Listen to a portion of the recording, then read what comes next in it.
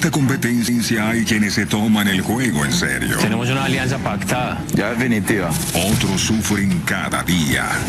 Omega necesita ganar para subir el ánimo, una prueba bastante exigente en el box azul, donde hay que tener nervios de acero, para probar su aguante y resistencia y así asegurar el bienestar del equipo. Ganar es lo único que nos levantaría el ánimo. Y todos, incluso las desafiantes de la semana, vienen por la victoria. Para las alianzas están hechas.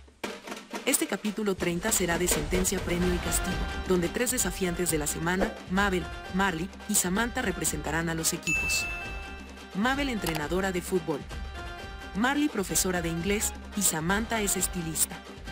¿Quién sería la mejor opción, la entrenadora de fútbol, que por su estado físico estaría mejor preparada? ¿O ustedes qué opinan? ¿A quién elegirá cada equipo? Desafiantes de la semana vienen por la victoria. Para sobrevivir, ustedes tendrán que tener nervios de acero. Desafío 20 años este martes 8 de la noche. Las mujeres serán las que batallan en el box azul. El equipo ganador decidirá quién va a cumplir con el temido castigo. En este ciclo las mujeres serán las que van a llevar el, el chaleco de sentencia. Según varios spoilers se ve a Alfa celebrando una victoria, por lo que muchos seguidores le han apostado a este equipo, y por otro lado, se comenta en redes que la próxima eliminada sería Ana Mar de Omega. Si Alfa no gana, el chaleco irá para una mujer de Alfa, pues Beta y Omega no se van a tocar entre ellos.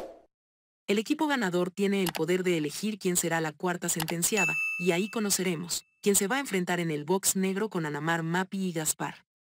Vemos Omega con gestos de preocupación por lo que de pronto su representante no se estaría desempeñando bien en la prueba. Esperemos que las representantes invitadas no decepcionen a su equipo. ¿Y ustedes a qué equipo ven más fuerte en esta prueba? En esta competencia hay quienes se toman el juego en serio. Tenemos una alianza pactada. Ya definitiva. Dicha por dos voces.